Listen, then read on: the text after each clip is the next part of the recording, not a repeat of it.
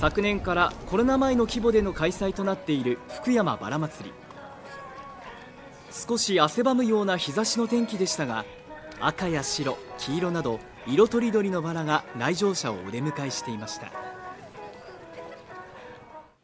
会場には食べ物やバラのグッズが販売されるブースが立ち並び多くの人でにぎわいました。